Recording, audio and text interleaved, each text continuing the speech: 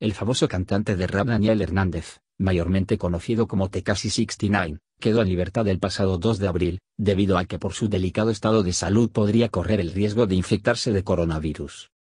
El famoso estaría cumpliendo lo que resta de su condena desde la comodidad de su casa, esto luego de que le diagnosticaran bronquitis y sinusitis, a fines del año pasado, lo cual lo convierte en más vulnerable ante el COVID-19.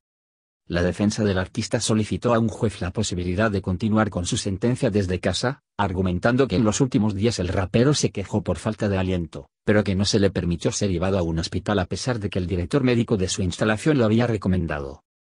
69 ha abandonado el Queen's Detention Facility, después de que el juez haya aceptado su carta de súplica.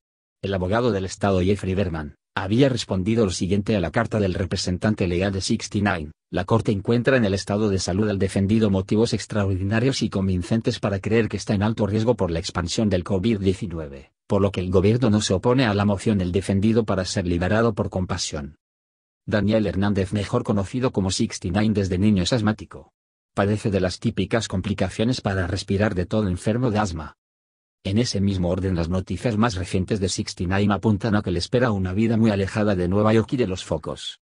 Si bien Hernández podría tratar de reiniciar su carrera artística, parece casi imposible que le veamos rapear de nuevo sobre un escenario como antes. El riesgo de ser asesinado es demasiado alto. La banda de los Nine Trail no parece dispuesta a perdonarle la extensa colaboración que 69 prestó al FBI en la investigación contra ellos. Es una situación tan delicada que ninguno de los guardaespaldas que anteriormente trabajaron con Daniel Hernández quieren saber nada al respecto de volver a trabajar para el rapero una vez recupere su estatus de libertad. El riesgo es tan grande que no compensa. La verdad no sabemos cómo terminará todo esto, pero los mantendremos informados de cualquier novedad, así que gracias por visitar nuestro canal y no olviden suscribirse, hasta la próxima.